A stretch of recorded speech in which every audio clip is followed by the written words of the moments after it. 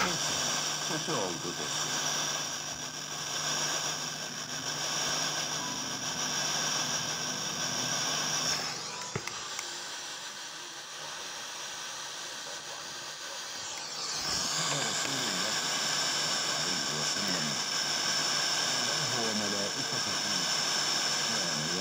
Sufimiz.